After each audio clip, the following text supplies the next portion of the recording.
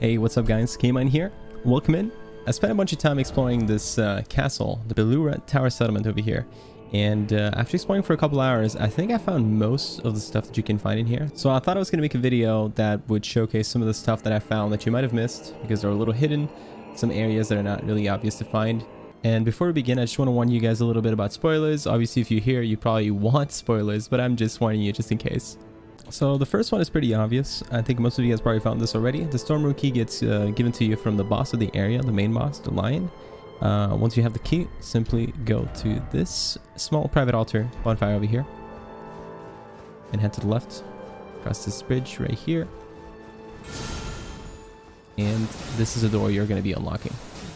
Now you're to find this lady inside this room here. What you're to want to do is speak with her and nothing's to happen. If you do want something to happen and get a reward from her, you simply have to equip the new helmet you got from the boss as well, called the Divine Beast Head. The second item you might have missed is the Well Depths Key. This one is pretty simple as well. Just start from the small private altar, Grace as well, and just follow my path.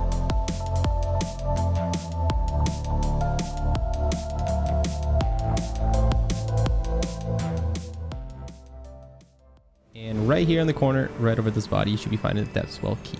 To use the key you just found, just head to the Belurat Tower Settlement Grace, and just head this way.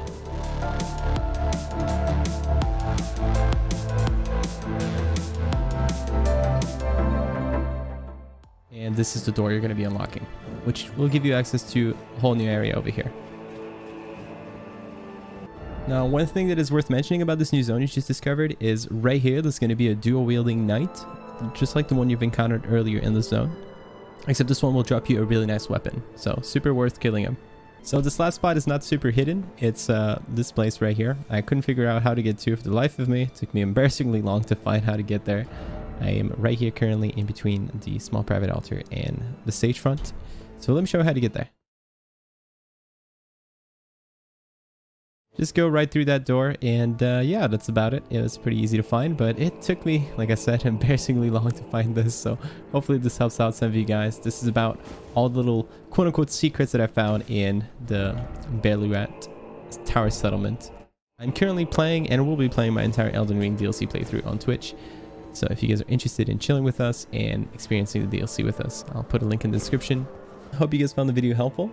As always, if you guys enjoyed the video, drop a like, drop a little comment. If there's some stuff that's hidden in this area that I haven't covered in this video that you think is worth mentioning, feel free to share with us. And I hope you have a good rest of your day.